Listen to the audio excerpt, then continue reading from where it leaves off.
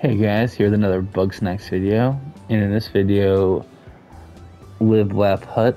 All you have to do is just keep doing favors for the Grumpuses in your mail. We'll just keep giving you different favors and just keep completing them. And then once you've completed enough, you'll get a second story and then just fill every single spot with a decoration. So the table with a knickknack, lights, all that your roof, which love my roof, basketball, something over here, and then the bell, which I got the bell from uh, Bell, and you can get that from uh, Triffany. Actually, I might keep that. That's pretty cool.